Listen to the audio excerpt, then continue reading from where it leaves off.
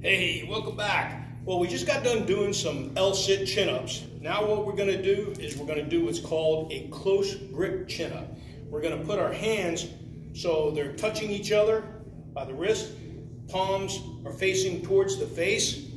And we're just gonna grab the bar and go up and down. Now I've got my hands, my wrists are touching each other.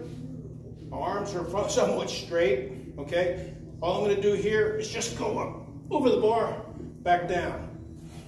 Up over the bar, back down. Up over the bar, back down. Up over the bar, back down. Now if you do these nice and slow, just go up and then back down. All right. And as always, you want to breathe when you're exercising. And like we talked about in the previous videos, what do you want to do? Yep, you want to stretch before you work out, stretch when you get done, and always, always you got that right. Have fun. Take care. Bye-bye.